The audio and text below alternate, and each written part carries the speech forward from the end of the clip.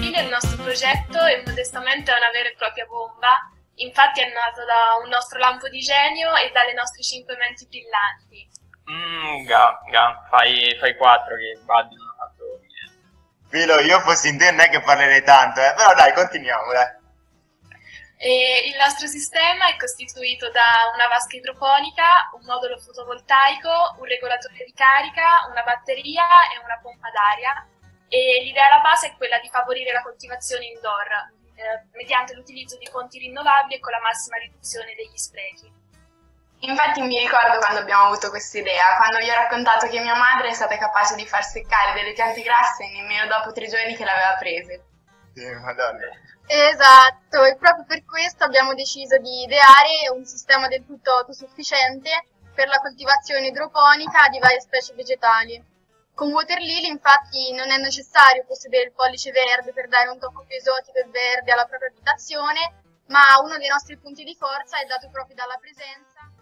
Un altro aspetto da sottolineare è sicuramente la manutenzione del sistema, eh, in quanto è ecosostenibile e il costo energetico è bassissimo, poiché il nutrimento delle piante si ricava grazie a degli scarti di cibo, eh, grazie ai quali riusciamo a ricavare i micro e macronutrienti per le piante questo aspetto del risparmio mi è molto caro in quanto io sono un risparmiatore vero e proprio e al denaro ci tengo.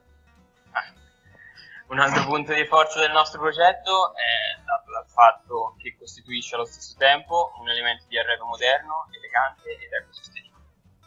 Infatti non solo dà un tocco di eleganza alla, alla, nostra abitazione, ma allo stesso tempo ossigena e purifica l'aria da muffe e tossine, influenzanti poi se volete diciamo potete coltivare in casa vostra e al sicuro dalle, dalle luci blu qualsiasi tipo di, di erba diciamo sì esattamente potete arricchirvi e lucrare in che modo e quanto volete basta che però non influenziate i miei interessi personali eh. Non dimentichiamoci quindi che Water Lily unisce la possibilità di mangiare sano e autoprodurlo nel massimo rispetto dell'ambiente in maniera sostenibile tutte cose molto interessanti, eh, però alla fine la cosa più fondamentale sono i bassi costi, perché alla fine sappiamo che il risparmio è meglio di tutti. Sì, sì, però non dimentichiamoci delle erbe particolari. E a parte le sciocchezze, qui adesso vi proponiamo in modo molto stilizzato due di quelli che potrebbero essere i nostri progetti. Da una parte vediamo un acquario. Bravissimi. Bravi, bravissimi. Molto, no, e... molto bello il modo di comunicare. No. Che rende vero, vero. molto interessante e ti fa stare diciamo, al passo con, con l'argomento.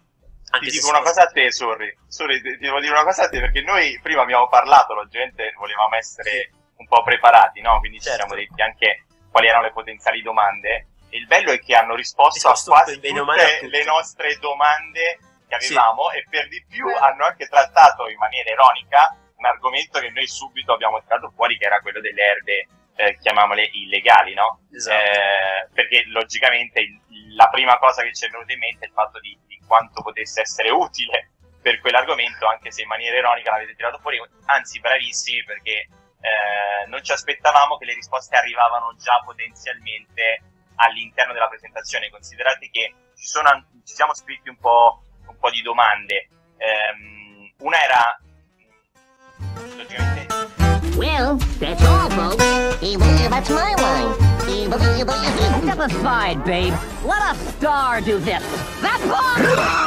That's all, folks! Can I go home now?